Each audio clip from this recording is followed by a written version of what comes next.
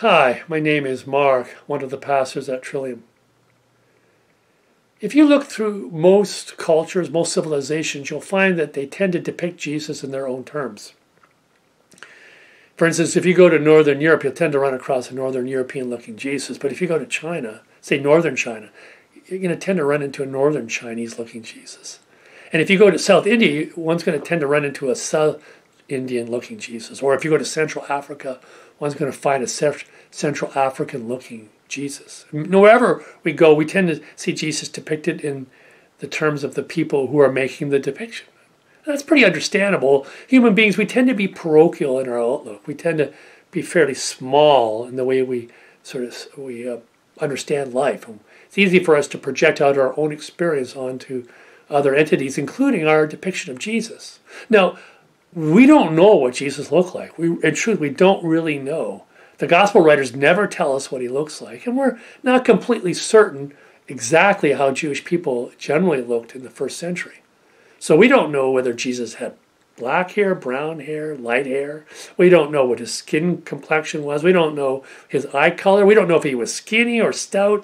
We don't know if he was muscular or not muscular. We don't know if he had a big nose or a little nose. We know absolutely nothing about his appearance. And it's possible that the gospel writers never tell us what Jesus looked like because they didn't know. That first generation had died off. By the time they get to write the gospels, no one could remember what Jesus looked like. It's also possible that the gospel writers didn't care.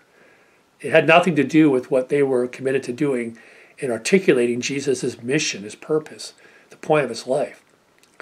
It's also possible that the early church, being shaped by that Jewish understanding, had a, a reticence, a, a, resistance to actually describing Jesus in, in physical terms. The same way that the one of the commandments in the Ten Commandments says, you know, we're to make no graven images of God, or make no God, idols of God. This might have carried over to really resisting the idea of depicting Jesus in pictorial form. So we have to wait a couple hundred years before we get our first picture of Jesus in the catacombs of Rome. We have this picture of Jesus, and what does he look like? He looks like the typical Roman youth living in the city short hair, clean shaven. Go forward another two or three hundred years, we get a completely different image of Jesus, one with long hair and a beard. What had changed in those two to three hundred years? Had there been some great scholarly insight to what Jesus must have looked like? No. What had changed was the cultural conventions had changed. You see, these German barbaric tribes had invaded the Roman Empire. They were now running the show, and the cultural conventions had changed from short hair, and no beard, to long hair and a beard. And that's how they depicted Jesus. And we've been stuck with that image for the last, well, I don't know, 1,500 years probably. Every movie that I see that's ever been made about Jesus has Jesus with long hair and a beard. It's become the convention. But of course, we don't know what he looked like. And there's no proof that he had long hair, short hair, beard, or was clean shaven. Now, it's pretty understandable why this happens, but it has consequences.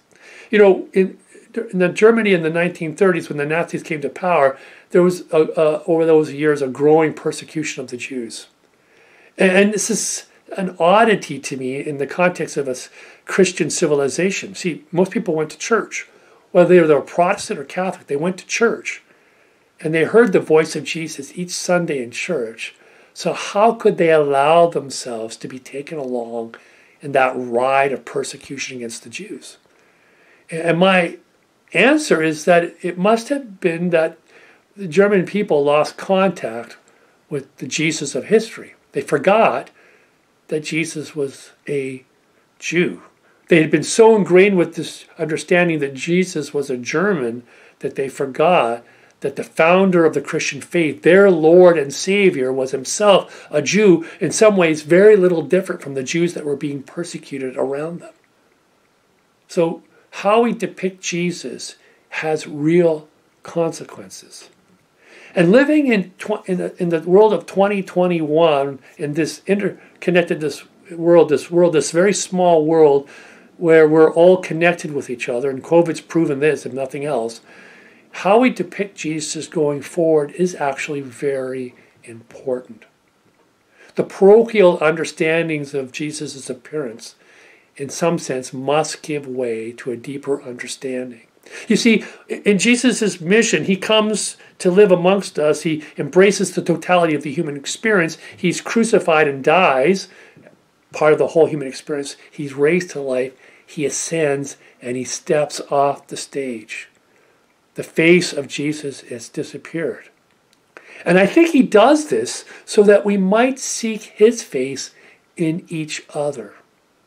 So the true face of Jesus is one that encompasses the totality of the human race. Perhaps that face of Jesus was a face taken away from us so that we would seek God in each other, so that we would find the face of God in the neighbor we are looking at today.